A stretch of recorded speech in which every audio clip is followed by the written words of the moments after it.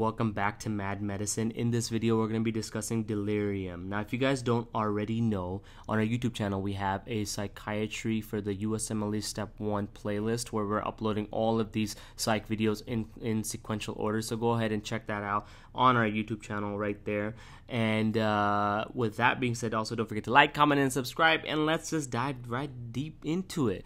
Let's talk about delirium. So, delirium is a form or a acute waxing and waning level of consciousness and this usually occurs with an acute onset this is a very rapid uh, uh, finding that you'll see in patients. And it usually occurs within 12 to 24 hours. Patients will present with in uh, delirium and in a delirious state. In this case, patients are going to have a rapid decrease in the attention span as well as a level of arousal. And it's usually characterized by a few key hallmark things that you should be aware of. If you see these things, you should first think delirium unless you're pushed towards something else. Okay? And these key characterizations are disorganized thinking right? People aren't going to be able, the patients with delirium aren't going to be able to talk to you clearly and straightforward. This is also made worse due to their decreased attention span.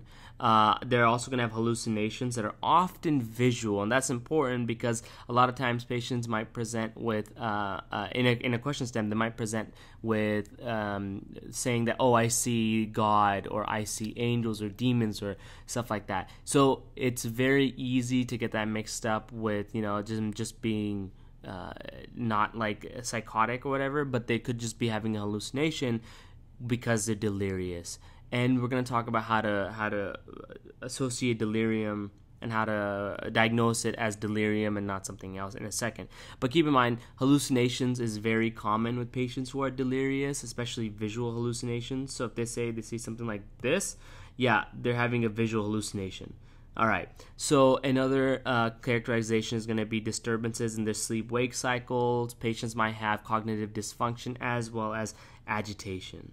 So all of these characterizations should clue you into delirium first. That's the key thing. Another thing to realize about delirium is that it is reversible, and that's very important because a lot of other things like dementia is not reversible, but delirium is. If you treat the underlying cause of delirium, you can get rid of the patient being delirious. And this could be caused by medications as well. So if you're giving giving elderly patients anticholinergics, uh, especially on high dose, patients might develop delirium. Now, when it comes to delirium, you might want you want to be very uh, comfortable with the clinical symptoms. The characterizations that we talked about earlier are definitely something you should know, but you should also know that delirium usually occurs secondary to something else, another illness. Usually, in a USMLE step question, you're going to see this being presented to you as a patient who just got out of surgery. So let's just write that down. So a patient who just got out of surgery is uh, uh, you realize that they have an infection, a temperature of let's say it's 104, greater than 104 right? So they have an infection, and because the infection, you see that they're delirious. They ha- they're having hallucinations. They're not talking to you properly. They're having uh, uh, altered day and night uh, sleep patterns all those characterizations should clue you in to a patient being delirious and not delusional or psychotic. That's very important. And usually you'll see an altered mental status in the hospital. They're not going to be alert and oriented times four, guys. They're going to be they're going to show as altered mental status. And when you're diagnosing a patient with delirium, it's very straightforward. It's actually pretty easy and it's usually done clinically during the patient visit. That's really important because there are other tests you can do, but to be honest with you, this is pretty straightforward enough for someone to understand whether or not a patient has altered mental status. And if uh, if they have a history of an infection or a disease, or if they just went through trauma or substance abuse slash withdrawal, you can assume that they're they're a little delirious instead of being uh, psychotic or having a mental break.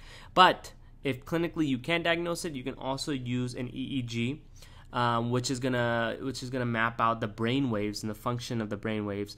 And you will see in an EEG, it's gonna be abnormal in delirium, whereas in dementia, it's gonna be normal brain waves uh, that are gonna pop up on the EEG.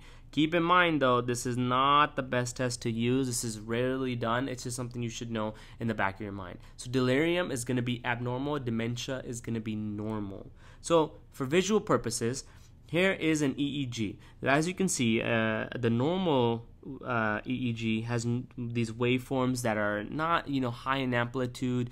Uh, they're pretty small. They're pretty uniform, as uniform as it can be. All of them are very similar. But when you look at this delirium one, you can see that everything is abnormal. All of them have high amplitudes, right? You see how this is higher than something over here. You can see that this one does not correspond to this one. This one does not correspond to this one, right? They're all different, whereas these right here are somewhat similar. Okay, so these waveforms are a little bit different. They're jagged, and you can clearly see they're abnormal.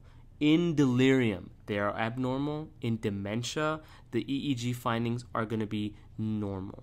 So let's talk about delirium and dementia. And keep in mind, we have a whole video on dementia coming up next.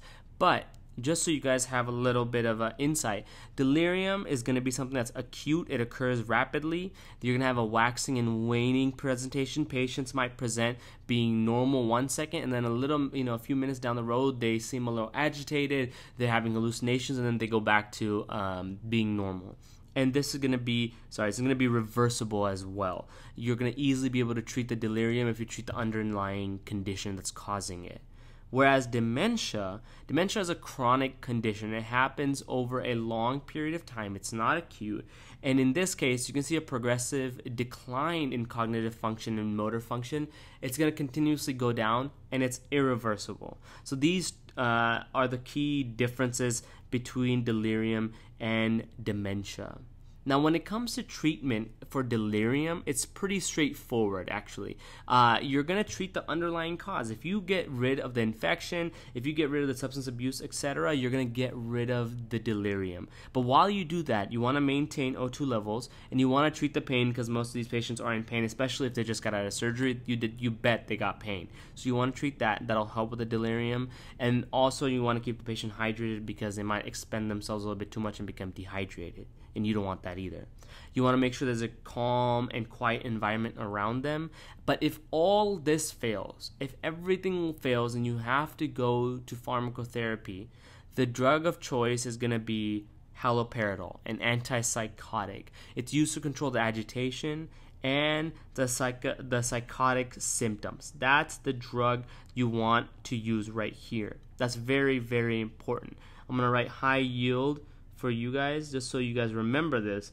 But this is the most important thing. And the one thing you should not do to a delirious patient is give them benzodiazepines. On a step question, it may seem like the right answer by giving them a benzodiazepine because you might want to sedate them a little, but that is not the right thing to do. So do not give them a benzo. It'll worsen the confusion and they'll also cause the patients to become more sedated and put them in a dangerous situation. Now, with that, being said, I hope this helped with understanding what is delirium. Thank you so much for watching. Don't forget to like, comment, and subscribe to the channel. And when you do hit that bell notification, and don't forget to watch our psychiatry playlist. Go ahead and continue on to the next video.